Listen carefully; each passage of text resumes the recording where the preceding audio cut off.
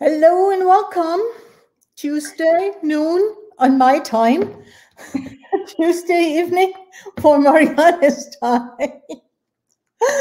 and let's have a conversation with the earth.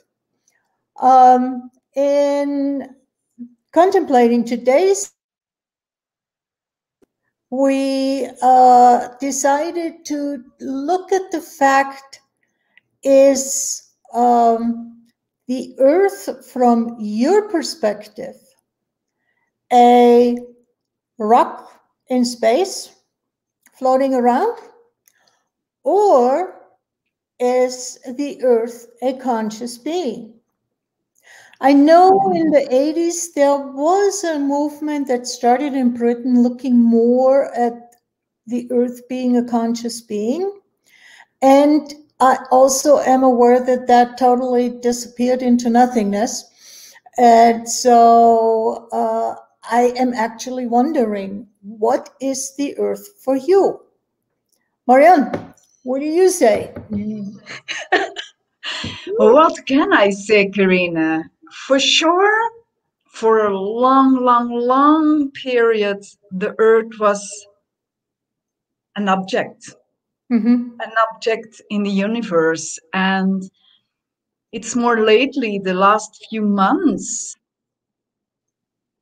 perhaps COVID contributed a lot to become more conscious of this.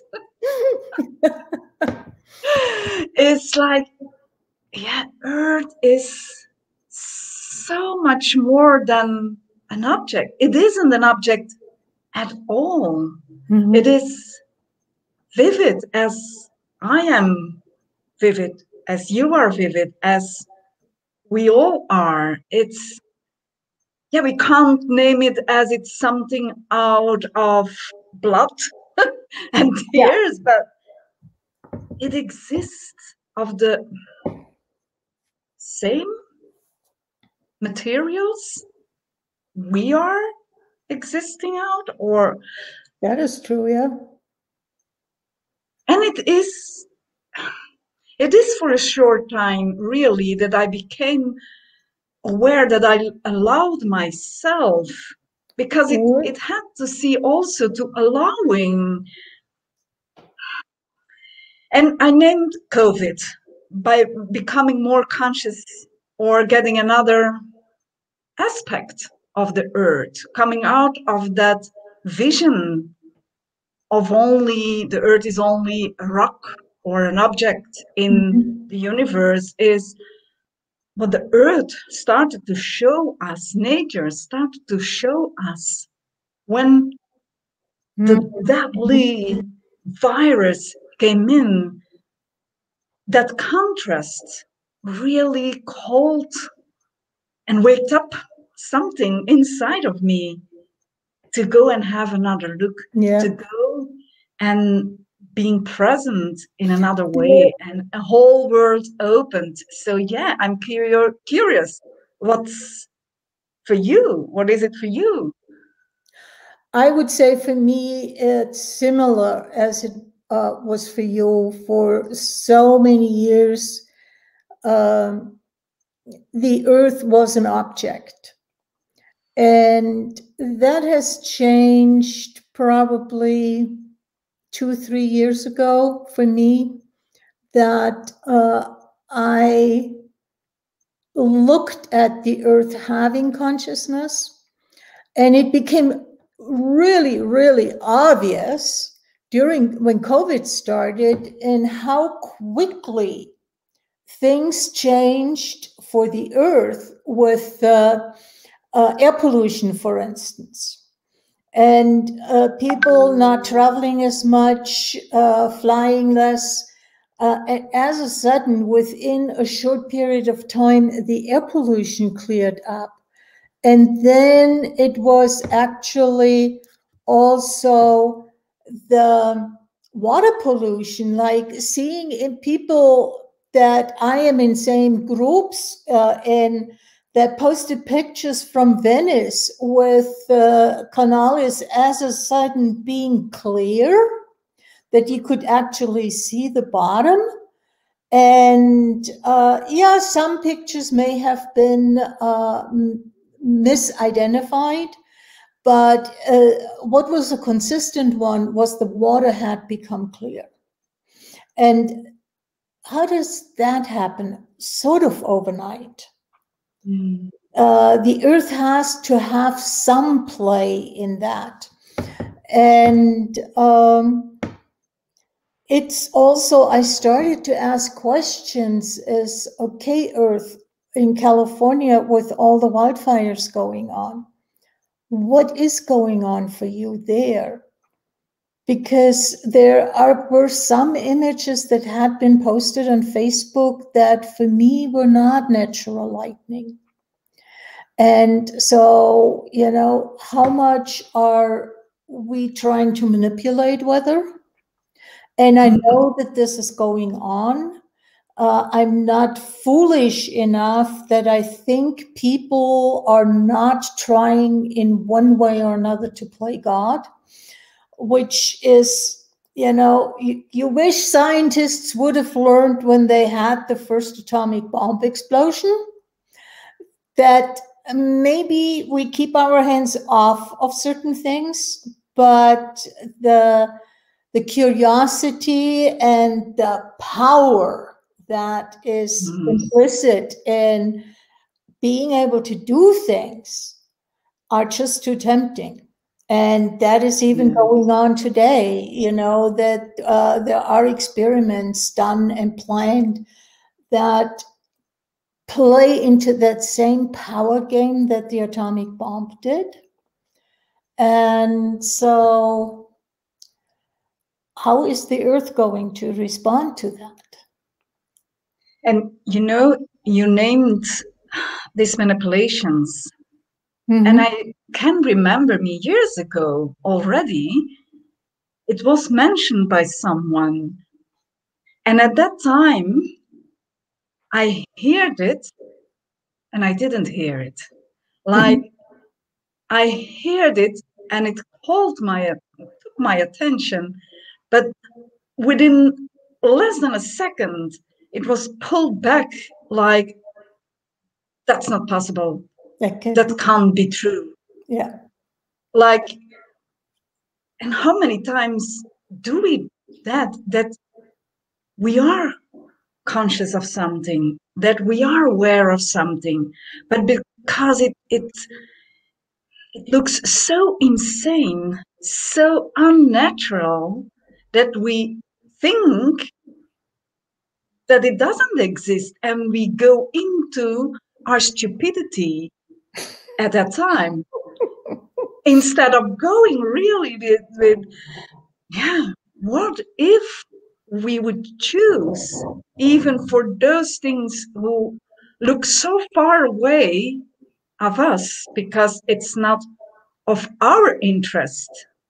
But yeah. what if we would go with that awareness?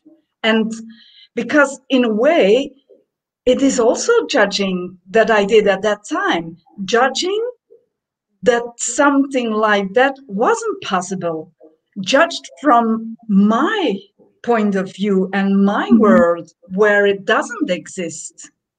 So when it's not existing in my world, it doesn't exist. And how cool is that overall? Yeah, that's in our individual worlds, but for everybody else. Yes, yes. Know? Yes, and we see it really clear in in the latest months. Mm-hmm is how many stupidity is even increasing from that space of that's not possible because I can't see and I won't allow myself to see any further than than my nose. So when yeah. it isn't here in front of me, even though it is in front of them, as I can remember, I think you saw also the film with David uh, Attenborough. Uh, no, Attenborough doesn't call the. Alive on on earth and he shows there he's gonna he went to visit the place the hiroshima where there was that explosion and everything was and everyone was evacuated. But now so many years later nature also showed there nothing mm-hmm. can kill me I have my own consciousness. Nothing. And I have my own ways. Yeah, I remember yeah. Chernobyl pretty well because I was pre-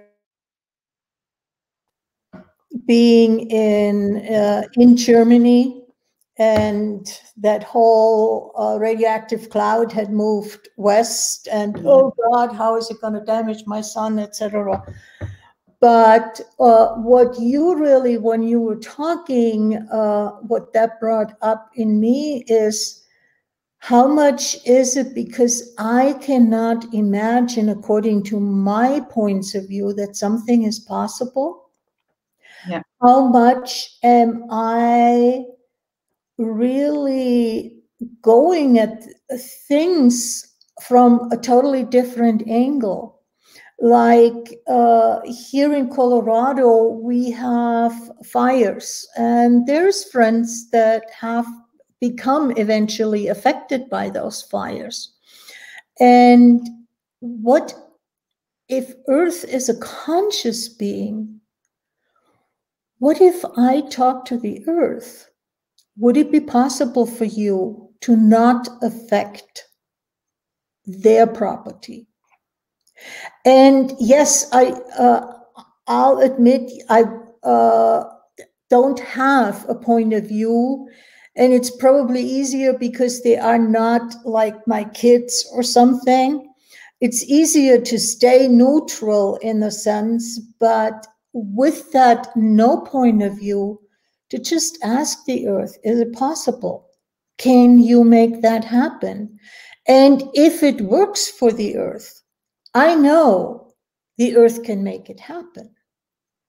Yeah, it is. And I hear you also, it's it's more ease to stay neutral when it doesn't involve your own family. Yeah. And at the same time, Karina, as I can speak for me,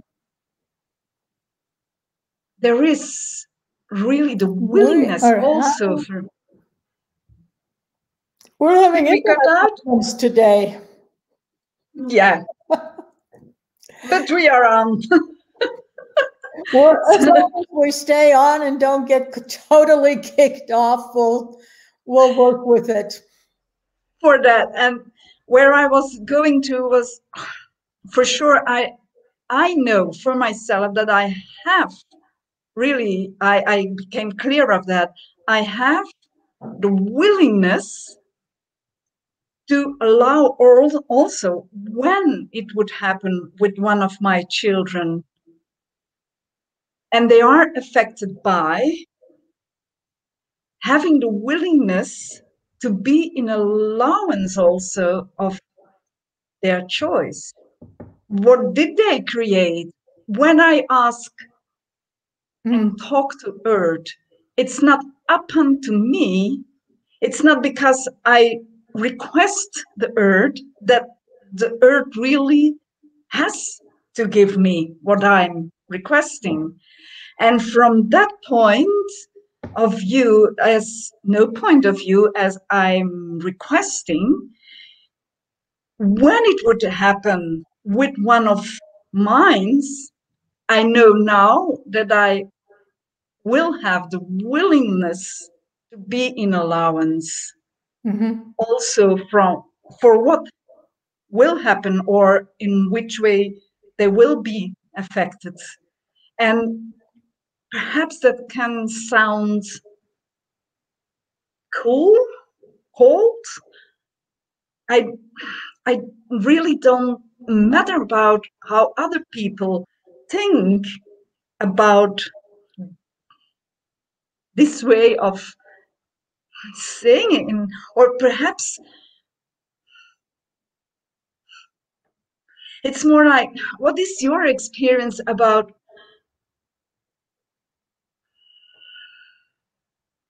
acting from awareness that other people aren't willing yeah.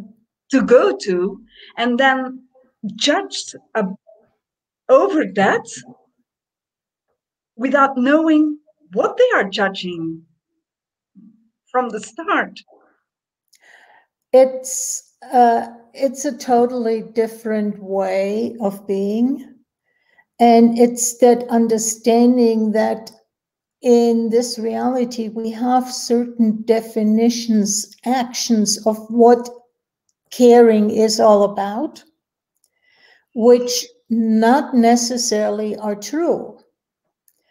And if I look at the earth as a conscious being, then let me backtrack for a moment. You're a conscious being, I'm a conscious being just because I'm asking you to give me something doesn't mean that you have to give it to me. You have choice if you desire to or not.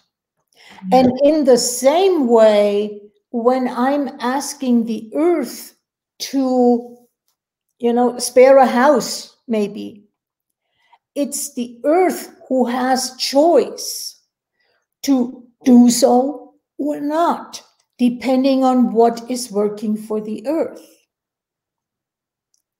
And That's by and large, I know the earth has our back. The earth is supporting us. So, uh, and that, Karina, is what you are saying. What's working for the earth, but what's working for the earth comes also from the consciousness and the awareness the earth has. That and how aware and conscious am I willing to be to even just recognize that the earth has consciousness. Yeah. And if I'm here and if I'm willing to contribute to the earth, am I basically saying or having the point of view, you know, Earth, I'm contributing to you. You better da da da da da. You know, and but that has nothing to do with true contribution. That is basically I'm laughing because there is something coming up really visual, nearly like we call the earth our mother and uh-huh. what came up was what if we would ask if really the earth wasn't your mother, but you are the mother of your child, the earth is your, your child, would that change the way people would act on? And that brought immediately, would it? Because how many parents do parenting from the same superiority from the other type of yeah. caring that it isn't so. That's why i was laughing. It was yeah it could be interesting to see what could happen. But truth would it really change something? It could. And it could. i fully i fully hear you. You know it's just because we really we really i don't want to say that but not many of us have a real understanding of what gifting and receiving is. And are we even willing to receive the gift that the earth has for us? And to stay with the hypothet with the fire if the property doesn't burn down, are we willing to see it as a gift that the earth is giving us, or are we checking it off as being lucky? Or in case of the request, being really powerful, but yep. only by yourself. Yeah. And not not getting that fact of true collaboration. And what would be possible if most of the people would start to get that fact? Yeah. Yeah, and, and for me, it became clear also that watching many documentaries, nature, about nature, about animals, up till a few months ago, I was watching and being touched by, and still, as that kind of separation, as that mm-hmm. kind mm-hmm. of, yeah, those are things happen and it's life, but not from the oneness, not from the cooperation, not from being. What listening to that, what just popped for me is uh, I would like to invite people to watch on Netflix the movie My Octopus Teacher. And be prepared to really get things from a totally different perspective because uh, the filmmaker is really stepping into who he is and allowing the octopus to be a conscious being that makes its own choices. And there is one scene that is just melting my heart, and I'm not gonna name it because I don't want to spoil the, the experience no. of the movie. But it is such a totally different way of being with uh, another animal, of being in the world, being part of the world, that really speaks extremely loudly to the fact of having that relationship with the earth, that contributory relationship. And to know that certain things just have their place, even if as humans we judge them. What if we step out of the judgment and allow nature, the earth, to have its own rhythm and way of being? Yeah. And for me, Karina, for me, it's clear that being and being in oneness, cooperating, is no place for judgment. There mm-hmm. no place. The moment, how big, how, how little, how positive or how negative, which doesn't exist finally, but when there is some kind of judgment, there is separation. there is separation. It's not possible to, and and that also the the film you mentioned, the octopus, my teacher, that was also some really palpable mm-hmm. in during that film and the transformation yeah the creator goes through is yeah magic it's yep. magical. And isn't it curious also that lately those kind types of documentaries are now really coming to the to the front as is yeah it is time it is time to let go of judgment. Because there will no no normal as we know the normal. Yeah. From before all those who are still fighting for that normal where are they?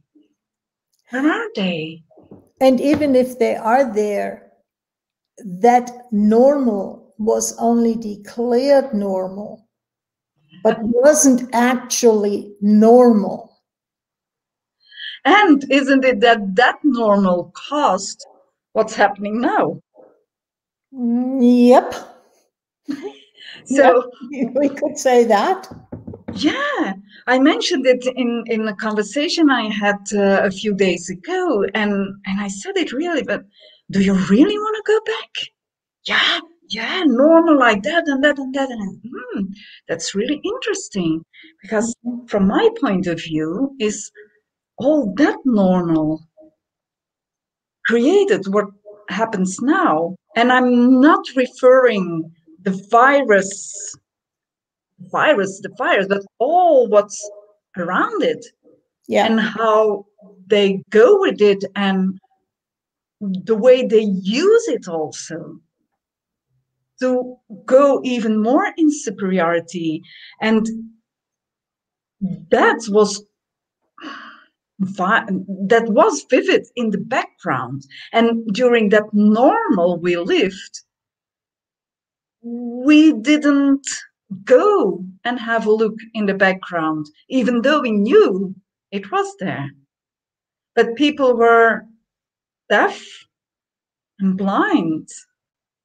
And now they want to go back to that normal. It's very interesting. And are we out again?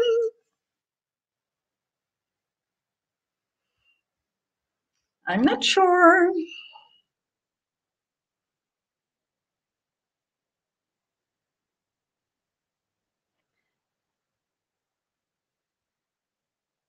Hi, Karina. Are you alive?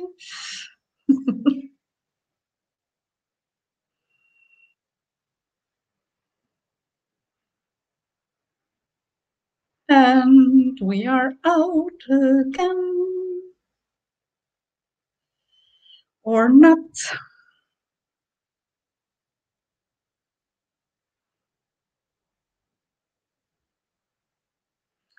I'm not sure. I can see we are live, still live,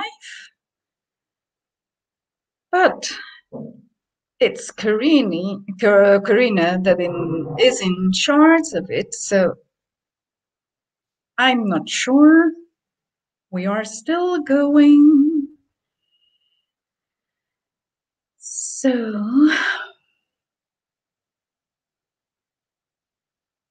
is there something more that I want to see about that normal when waiting for Green to come back?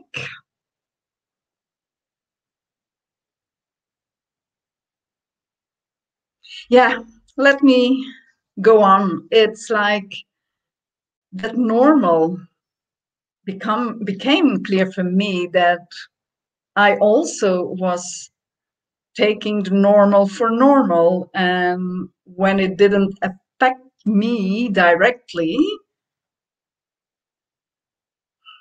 as in hmm, restricting the way I created my life then it was all normal. But that normal isn't any longer. And now I can see also clear that that normal wasn't also me. I still was living from, even though I lived already different and in a different way and different point of views creating in a different way, but still from a small box, the box of this reality, where I still went with the judgments, the definitions, and still am because, yeah, there is a lot changed in the last months, the last two, three years, but more profound in the last months and even weeks. But really conscious about that, I'm truly still living from judgments. And Karina says she dropped off. So, yeah, let us wrap it up here and we will meet again next week. And uh, how does it get any better than this? So for now, bye bye. And sorry, next time will be better, different. Bye bye.